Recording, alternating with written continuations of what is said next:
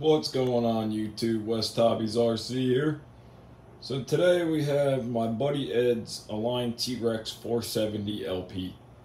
Uh, the last flight video of the 470 that I posted was of my 470 and we were out flying and him and I went to this little area by his house, decided to get some flights in. He took off and unfortunately with about 10 seconds into his flight, the helicopter went crazy and slammed into the ground. So this is what we have. He asked me if I could do the rebuild on it and if I could wire it like mine. So that is what this video is going to be. We are going to completely rewire the entire helicopter. So as you can see now, we have all the wires out, wrapped around the boom, up into the BeastX. So what happened was, as you can see here, ESC came unplugged. When he took off, as soon as he flipped into idle up, he had an insane vibration. And before I could even tell him to shut it down or flip it back to normal mode, it, I guess, unplugged the ESC because when we picked it up, this was laying about like that. And the helicopter just rolled and went crazy until it slammed into the gravel. Now, let me talk about the durability of the 470. I have yet to crash my 470, so I can't talk about how durable it is. But after watching this one go in, now this is the LP, plastic head, plastic tail. All I did was take the skids off and throw the skids away and of course throw the blades away. But this is the way it was picked up. Just like this. Boom is not bent. Boom is straight. Tail casing, nothing's broken in the tail whatsoever. Tail blades have a mark on them. We got new ones. We'll replace them. But main frame, no sides are cracked, broken. It literally broke the skids Stripped the main gear, as you can see here, in a couple spots.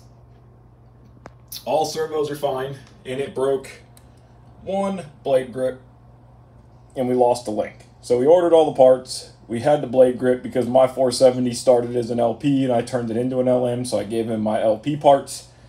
So we have a blade grip already. We just had to order skids, a main gear, blades, and the link from here to here to the blade grip. But other than that, the helicopter survived really well. Impressive. I mean, it probably went in at about, I don't know, 25, 30 feet up, and it held up great. Canopy, of course, is paint chipped and stuff, but it is still usable. That is up to him. I think he said he's going to order a Mask Pro canopy. But we're going to go ahead and get to the time lapse, and we are going to start doing the wiring first the parts should be here tomorrow so I can start rebuilding the parts. But first we're going to go ahead and rewire it like mine, shorten all the servo leads, hide them through the frame. And then for that we will be using, which I've had questions before what I use, a pair of uh, crimpers off of Amazon. And uh, I have this little kit here that I got off of Amazon as well. Comes with all your male and female plastic covers and your male and female ends. Uh, the I know that the gold plated ends like this are better, but this is just what I got. They work great. That's what I've done for all of my helicopters and airplanes, and every extension I've made is made off of this kit. So we're going to go ahead and get to the time lapse, and we're going to start rewiring.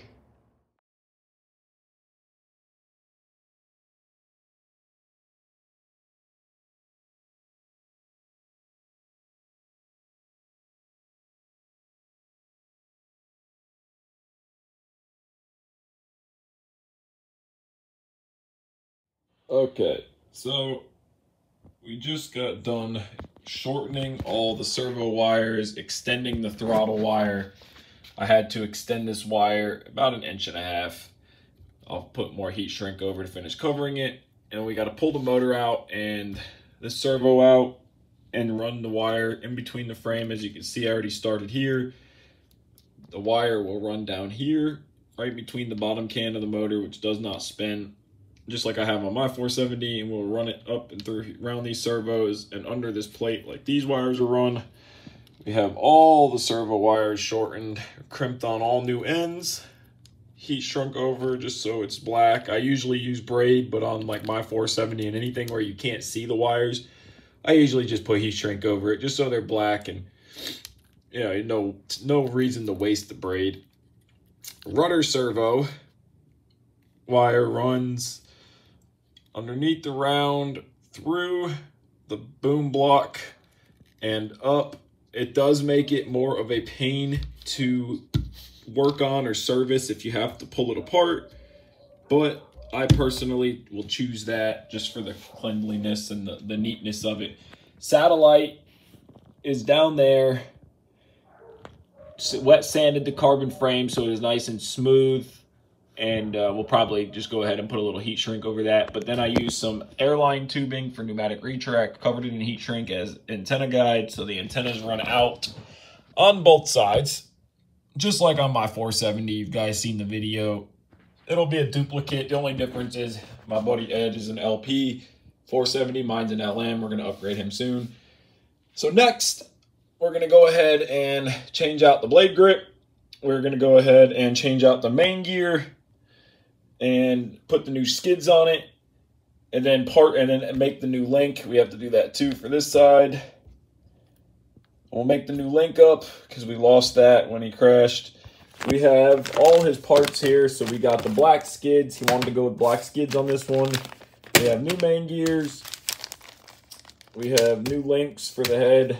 And then I have all of his other parts, which were all part of my 470 LP kit that I gave him. So we have new tail blades, which he barches, but we have um, new uh, blade grip in here that was from my LP kit and the tail blades and that will get his crash parts fixed. And we'll finish up the wiring so we're going to go ahead and cut to the time lapse on that. And we'll get this 470 finished up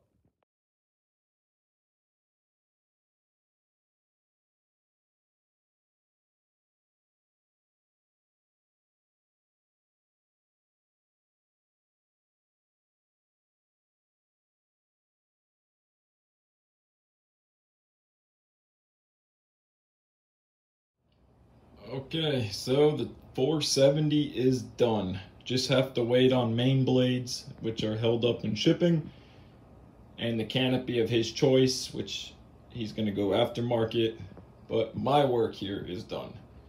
So, we rebuilt the head, new blade grip, new link, repacked the thrust bearings with grease, Loctited everything down. We got the new black skids all everything Loctited. We have the new main gear on, antenna guides, but the most important part is the wiring. It is completely rewired, shortened, lengthened.